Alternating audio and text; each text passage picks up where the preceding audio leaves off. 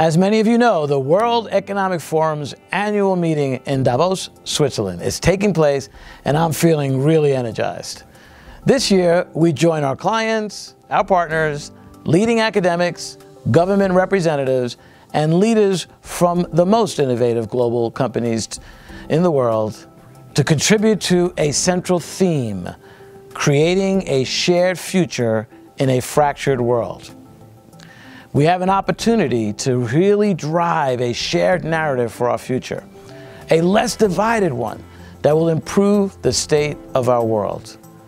Mercer will be leading a number of critical conversations this year. The first will take place at our fourth annual When Women Thrive breakfast, where we will discuss a very hot topic with trailblazers from industry and the media on what actions leaders and organizations can take to change the current state and trajectory of the women movement. Our second breakfast, Healthy, Wealthy, Workwise, New Imperatives for Financial Security, will tackle a looming, growing global challenge financial security and how it impacts us as individuals and countries across the globe, as well as organizations. I look forward to discussing many topics of critical importance with our clients at Davos.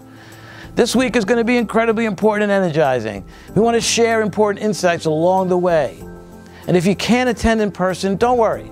We'll have daily highlights for you to check out on our Twitter handle at Mercer, LinkedIn, and Mercer.com.